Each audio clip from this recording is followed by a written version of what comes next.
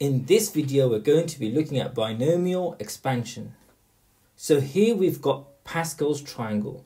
Now you might have seen this pattern before. And the way it works is every number is the sum of the two numbers directly above it. And this is what's going to help us do our binomial expansion. So when do we use binomial expansion? We can use binomial expansion to expand brackets such as these ones. Let's look at a particular example. Something like this. Now, you can expand this bracket at a time. However, that will take you a very long time. In GCSEs, you might have done double brackets and then triple brackets. If you remember correctly, the triple brackets took a long time. So having four brackets will take much longer and you might make a mistake. So with binomial expansion, we have a really nice, quick way of doing it. So here I've got some brackets and I've expanded them all for you. Of course, some of them didn't take that long. For example, a plus b to the power 0, that was simply just 1. a plus b to the power 1, well, that was simply a plus b. And then we have a plus b to the power 2. And that's double brackets, and you've done that a lot of times in GCSE. a plus b to the power 3, you might have done a few times. And I've got that here. And I've also expanded a plus b to the power 4. And they've all been nicely simplified. So how does Pascal's triangle come into this? Now I'm going to put some ones in front of the letters, for example, A and B, because that one won't make any difference. So here we've got some ones and nothing's changed. Next, I'm going to get rid of all the A's and B's and those powers. And wow, we've got Pascal's triangle here. Isn't that amazing? So now you've probably got a little bit of an idea how Pascal's triangle will help us do our expansions. But we're not there yet. So let's bring all those A's and B's back. Okay, so here we've got the expansion simplified again. Now the next thing we need to know about expansions is what's happening with the A's and the B's and the powers because we know about the coefficients now. They just come from Pascal's triangle. Let's look at the expansion of a plus b to the power of 4. So first you'll notice we have a to the highest power, and that's the power of 4. And b is non-existent in this term, or you can say b is to the power 0 if you like. Now the next term you'll see a's power has gone down, but b's power, but b which wasn't there, or you could say had power 0, has now got a power 1. So B suddenly appeared. So A's power has gone down and B has, and B's power has gone up. And it appears in this term. So you can probably see what's happened in the next term. A's power has gone down again to 2 and B's power has gone up again by 1. So A's power is 2 now and B's power is also 2. And in the next term, A's power is going to further 1 down and it's just become a to the power 1 or just a. And b's power is rising so b's power is now 3 and finally a's power is gone to 0 meaning it's not even there because anything to power 0 is 1 and b's power has gone up so b's power is 4 here in the last term. So that's the pattern with the a's and the b's and the powers. And we also know where some of these numbers came from. They came from pascal's triangle from all this information, we should be able to expand some brackets. Another thing I want you to notice before we carry on is if you look at any term, if you add up the powers on A and B, they'll always add up to 4, which is the power of the main bracket. And that's always going to be the case. So let's go ahead and look at a question where instead of A and B, we've got some terms. Okay, so we want to expand 2x plus 3 to the power of 4. Now, since this is our first example, I've got the expansion from before in front of us as well to help us. So we're going to expand it with descending powers of x, meaning that we're going to have x to the highest power first. So our a is going to be 2x, and that 2x is going to be to the power of 4, just like you can see in that general expansion at the top. So our a is 2x, and our b is 3. So our a, which is 2x, is raised to the power of 4 first. And our b, which is 3, is non-existent in the first term. Okay, so let's go to the next term. In the next term, the a's power, which is our 2x, has gone down by 1. And our b's power, which was non-existent, has now gone up. And now it's to the power of 1. So we have that 3 there, to the power of 1. And you also probably know where the 4 came from. That came from Pascal's triangle. The first term also had 1 in it, but of course we didn't need to put it there. Now let's go to the next term. In the next term, the 2x's power has gone further down by 1. And 3's power has gone up. And where did that 6 come from? Well, it came from Pascal's triangle. Now, before I reveal the next one, I'd like you to take a moment to think what it might be.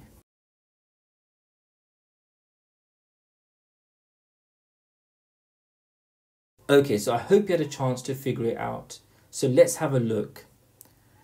So you can see 2x's power is going to further down, and now 2x's power is simply to the power of 1. But 3's power, which is the b, that's power has gone up, and now it's to the power of 3. And we need that 4 there. And where did that 4 come from? Well, Pascal's triangle again. Finally, let's go to the last term. 2x becomes non-existent. The a becomes non-existent because its power is 0. And the 3's power is raised to the final highest power, which is 4. And of course, we need a coefficient from Pascal's triangle, but it's going to be 1 here, so we don't need to put it in. Now, what I'd advise is with Pascal's triangle, I'd take some time to memorize it, maybe up to the row which has 1 followed by 5 and that row is 1, 5, 10, 10, 5, 1. If you want to go a bit further, that's fine too. But up to at least the 1, 5 row, I'd go ahead and memorize it because it's going to help us a lot.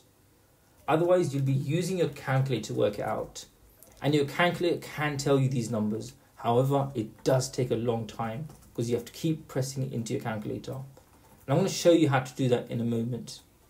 Okay, so we finished our expansion, but of course we do need to simplify it. So let's start by simplifying some of these brackets. Since a lot of you watching this video are doing your A-levels, maybe in your first year, I'm going to assume you're okay with this simplifying I've done here. And we can finally simplify the terms a little bit further and get our final most simplified form. And that's that. We've managed to expand 2x plus 3 to the power 4 with not too much trouble. So we're going to try binomial expansion again. And this time our brackets is to the power 3. So it's actually a little bit more simpler. And those coefficients we need from Pascal's triangle are 1, 3, 3, 1. And I hope you memorize up to at least the fifth row. Now in this example, we're going to try doing ascending powers of x. That means we want the lowest power of x first and x's power should increase as the expansion goes on. So if we're going to do that, we should really let a be 4 and then b could be the x squared here. Okay, so let's go for it. If you really want to have a try yourself first, go ahead and pause this video.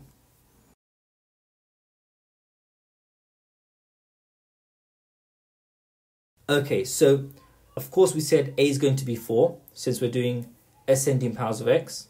So the 4 is going to be to the power of 3. And our b, which is x squared, of course, is going to be non-existent here. It's to the power of 0, so we don't need to put it in. And from Pascal's triangle, the first coefficient is 1. So again, we don't need to put that 1 in. So what we're going to do next? Well, 4 to the power of 3 is going to go down. It's going to become 4 to the power of 2. And of course, that x squared is now going to appear. It's going to be to the power of 1. And don't forget, we need Pascal's coefficient. And you should know it's going to be 3. So now we can go to the next term. 4's power goes further down by 1. And it becomes to the power of 1. And x squared term's power goes up. Now x squared is now going to be to the power of 2. And of course, don't forget Pascal's coefficient is going to be 3 again. Because remember for this row, Pascal's coefficients are 1, 3, 3, 1. Now going to the final term, of course 4's power is going to reduce to 0, which means it's going to be 1. So it's really non-existent here. We don't need to put it in. And finally, x squared's power is going to go to the highest power, which is 3. And the coefficient from the triangle will be 1 here. So we've done the expansion. We just need to simplify it now. So I've used all the powers now in the brackets and we simplified it to this stage. And you should be able to do that. Let's finally put it in the simplest form. And there it is. So binary expansion doesn't look too difficult. But while you're finding it easy, you must go ahead and practice a lot of questions. Just keep expanding loads of simple questions before you go on to the tougher ones. Okay, so let's look at our final question. I've got 3x plus 5 to the power of 5. And in this question, it wants the coefficient of x cubed in this expansion. Now, some of you might want to expand it all out and simplify and see what's in front of the x cubed.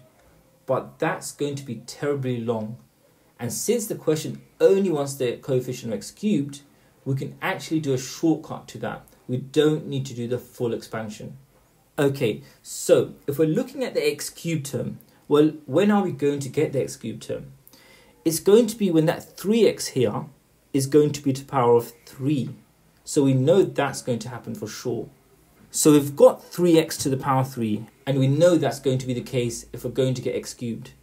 But our b is 5 here. What power must the 5 be? Now, earlier on in the video, if you remember, I said the powers always add up to the main power of the brackets.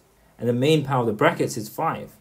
So if 3x is to the power of 3, that 5 must be to the power of 2.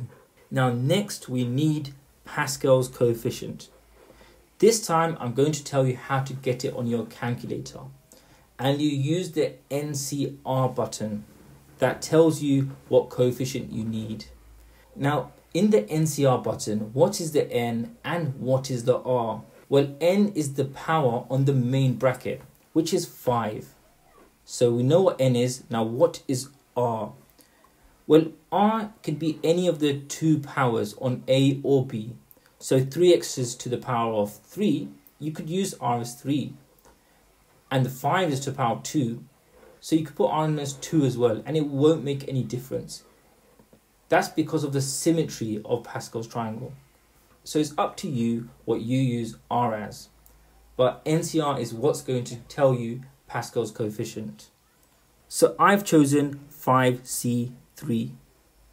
And on your calculators, it's on the shift divide button for a lot of them. So that's how you're going to use the NCR button. So you'll press 5, shift divide, and then 3 and press equals. And it'll give you that coefficient. And the calculator gave us 10. Some of you might not need the calculator because you've done the correct thing and memorized some of those lines of Pascal's triangle. And applying the powers, we get 27x cubed and 25 for 5 squared. Let's finally simplify that. We get 6750x cubed. So the coefficient of x cubed is 6750. And this way was much shorter than expanding the full brackets.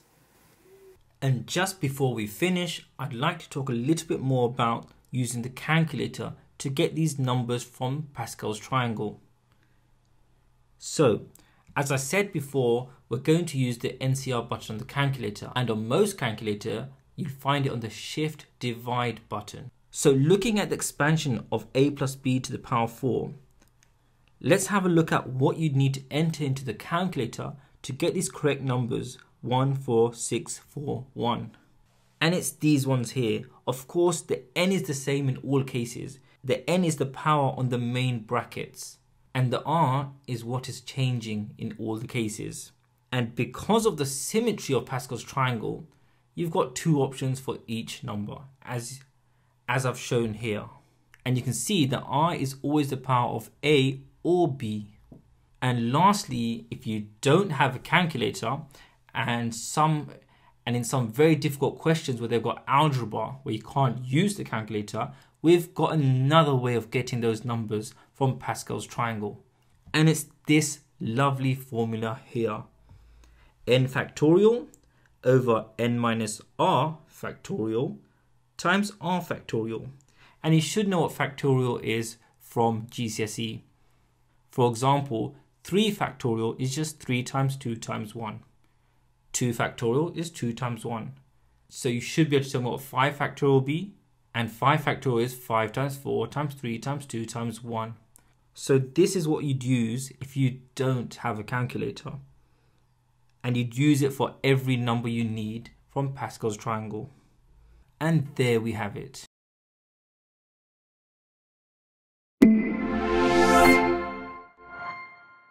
I hope you found that video useful. Support us by liking, subscribing, and share this with your friends. And if you still got some more questions on anything, drop a post on our forum at examqa.com where you'll find your questions answered.